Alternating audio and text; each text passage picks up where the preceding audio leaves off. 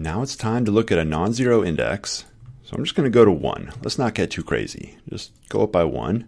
And now when I run it, you're going to see 1 get printed and uh, of course the element get printed. So it's going to print add 1 coffee. So I want coffee to be between oatmeal and strawberries. All right, so let's go back to here. I'm going to erase these arrows. We're going to do something slightly different. We're not going to put coffee at the beginning anymore. I want to put coffee between these two nodes. How in the world do we do that? It's actually really similar to what we just did. What we just did is modify this arrow, or I should say, we modified head to point to coffee. And so instead of thinking about that head arrow, what we're going to do is think about that arrow. It's probably a good time to write indexes, indices 0, 1, 2, 3.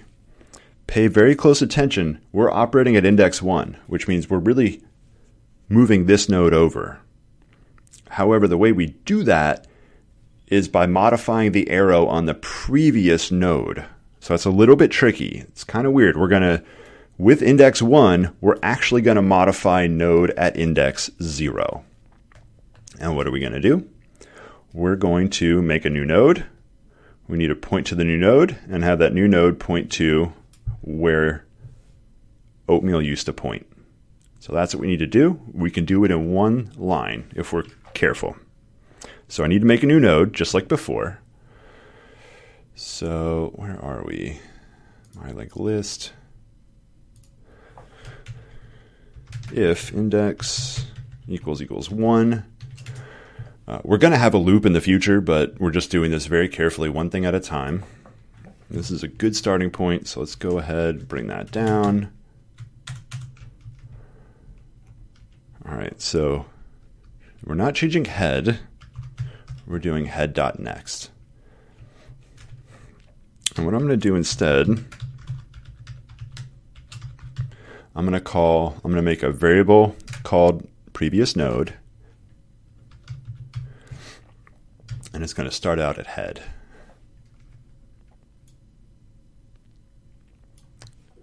So we're going to build a new node. Now remember this previous node points to head because oatmeal, or the node that head points to, is the actual node that we have to modify the next attribute of. So head.next is actually referring to this arrow right here. So previous node is referring to now oatmeal. So let's label that.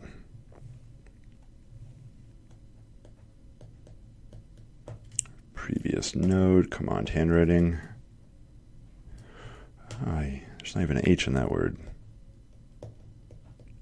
previous node is going to point to oatmeal. All right. So what I need to do is set the previous node next this arrow to point to the new node. So previous node is head. So this is previous node dot next equals the new node. Now the new node's got the right data, the right element in it, but of course the arrow right here is important where this goes. Let's just leave it right here at head and uh, have some fun. It may not be that fun, we'll find out in a minute here. So let's just redo these arrows. So previous node is going to point to oatmeal, and then what did I do next? So the previous node is going to point to the old, the original head, which is oatmeal. Uh, then I'm going to build a new node. And what is the new node's next going to be? It's going to be head. So let's look at what that actually looks like. So the new node's next is going to be head, which means it's actually going to point back here. And then what did I do? So that's what creating this node's going to do. And then the previous node's next is going to point to the new node. So the previous node, its next, its arrow is going to point to the new node. So it's no longer going to point here, it's going to point to the new node. And this is going to create a fun problem. Hopefully, this will print out nicely. What's the problem going to be? Well, head's still going to point to the original thing. That's fine, which is oatmeal. And then it's going to be coffee. What's next? Oatmeal. What's next? Coffee. Oatmeal, coffee, oatmeal, coffee. It's a lot of oatmeal and coffee. Hopefully, it'll print out nicely.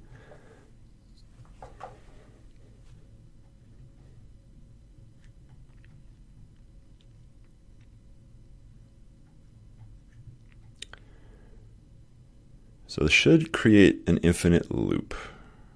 Not on the add, but on the toString. Oh, perfect. Here we go.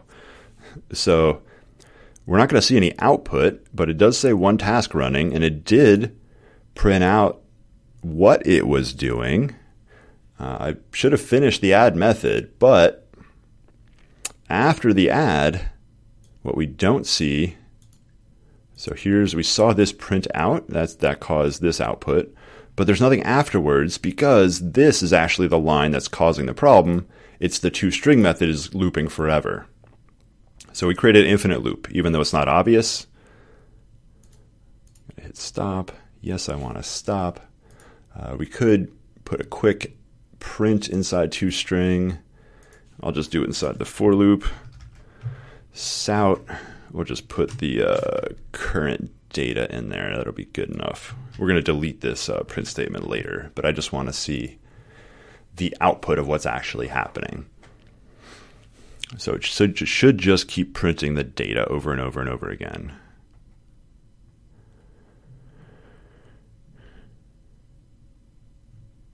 Maybe an issue where it doesn't flush the output buffer. Okay, it did. Good. So you can see oatmeal coffee, oatmeal coffee, oatmeal coffee. All right, so that's the obviously it's not what we want. I'm going to take that back out. So let's go back to add and let's make this work. So I do want coffee to point to something, but in this case, not oatmeal. I want coffee to point to that right there. So how do we do that? So it's the next of the new node needs to point to where previous node used to point to. So that's tricky. And let's think about the code here. So the new node shouldn't be pointing to head, it should be pointing to previous node's next. There we go. And we'll run this.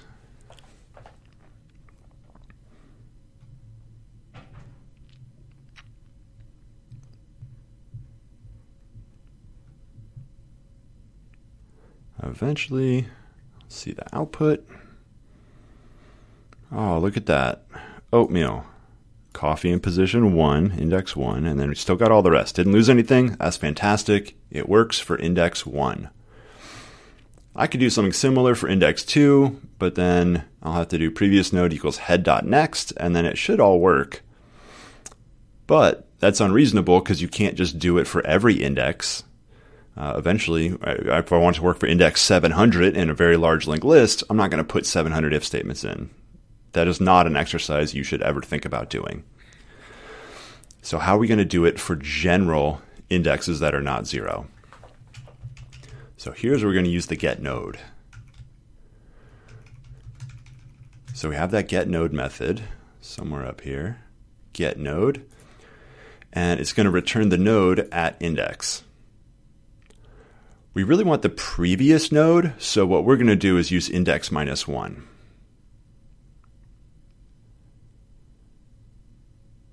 So instead of setting the previous node to be head, it's get node, and this is going to take an int in the index, but I don't want to get the node we want to add, let's see, if we want to add at position 1, I don't want to get this node here, I want to get the node before it. So I actually want to get the node at index 0. So that's why I'm going to put an index minus 1 here. So that's the previous node. And then I think this should work right here. So another reason I use previous node and not head is so right now that this became uh, basically trivial once we got the right previous node. So let's run it again, and hopefully, if our get node works correctly and points to the initial, uh, should be okay.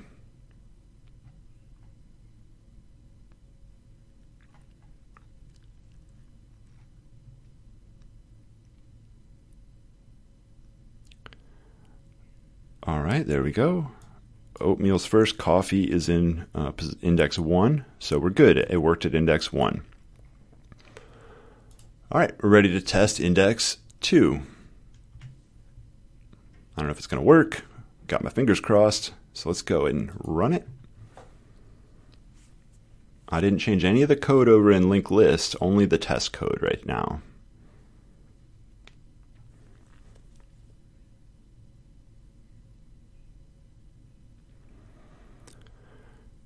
All right, Houston, we have a problem. I don't see coffee anywhere in here. All right, not good. Why did I not see it in there? Think about why I did not see it in there. It's not because of this line here. This right here, it only runs if index is 1. So let's just remove the if statement and just let it go. So I'm not checking anything about the index now. It's either 0 or it's not. And let's run it. I know the index value is 2, which is valid. We're going to test some invalid ones and see what happens. We're going to really only test the valid ones first. Then we'll try to make it work. Then we'll break it. All right, position 0, position 1. Coffee is in the right place. Burger coleslaw. Ah, this is fantastic. So that works at position index 2. Let's go to 3.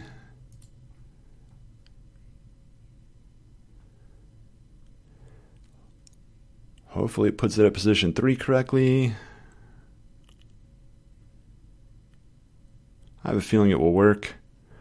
All right, index 0, 1, 2, coffee's in, index 3, fantastic.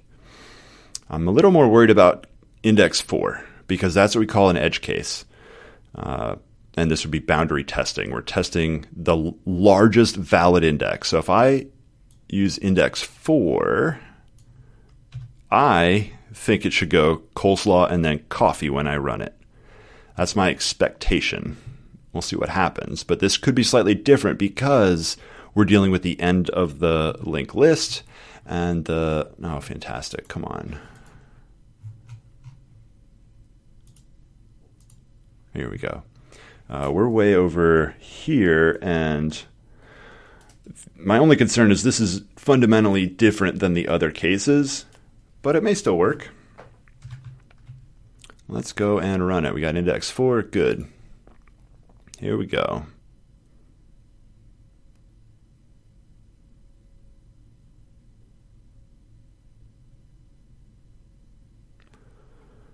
Look at that. Original coffee at index 4. 0, 1, 2, 3. So coffee's at index 4. All right, great. So this works. Uh, let's just retest index 0. I didn't change any of that part of the code, but I did change that method overall. Just retest to make sure it still works. It should. While we're waiting for this, uh, let's look at the add method.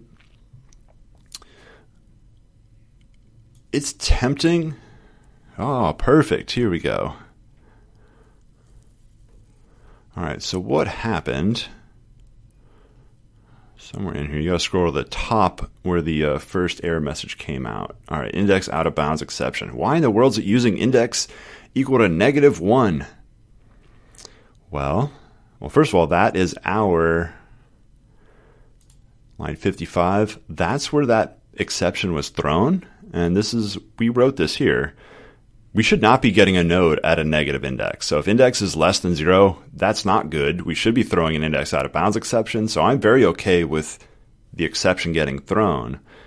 I'm going to click on the next line down, which is where this line of code was called from, or I should say it's where this get node method was called from. You probably know exactly where we're going to go because we just wrote that.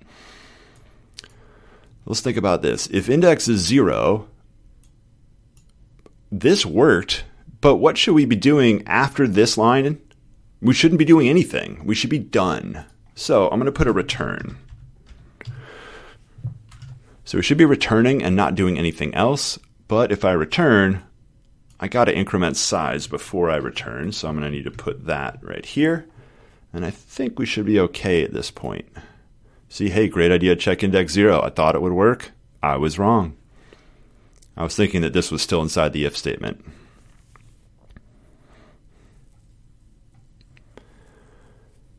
I'm also not printing out size, so I'm not really paying attention if the size is working, is updating correctly or not. Uh, I don't want to worry about that right now. There's plenty of other things to worry about.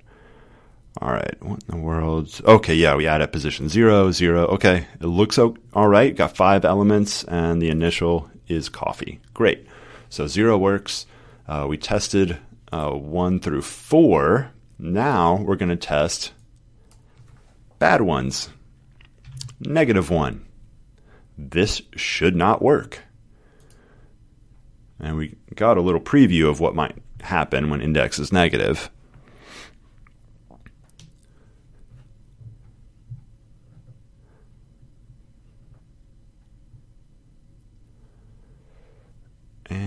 And let's see, exception, index out of bounds. Now, this is slightly misleading, but let's look and see where that came from. Came from, of course, the throw right here, which came from this. Now, it did use index minus one, so that's a little bit tricky. Uh, the error message doesn't really match. There should be an error, but it should be negative one, not negative two. Uh, so it might be good to check index before we get uh, call the get node. Uh, but I'm not going to worry about that specifically right now. Uh, we'll clean this up in a, in a, future video. I just want to test the bad indexes right now. So if I did negative 2, it would also fail. Let's try 5. 4 was valid, 5 is not. Let's run this.